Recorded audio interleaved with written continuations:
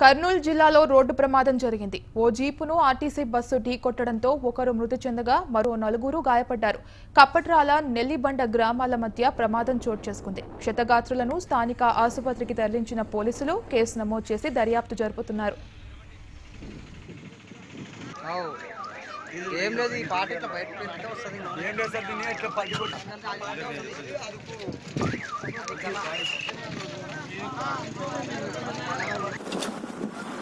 ஆனா டிரைவர் முன்னாடாடா